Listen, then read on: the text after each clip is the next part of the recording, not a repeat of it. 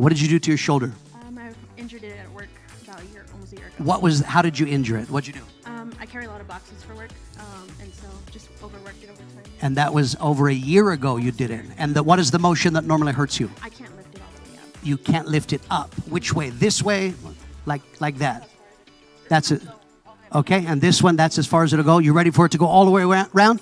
In Jesus' name, be whole.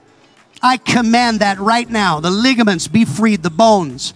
I cast out infirmity, be healed in Jesus' name. Now, lift it up all the way, right now. There you go. Do it all the way back.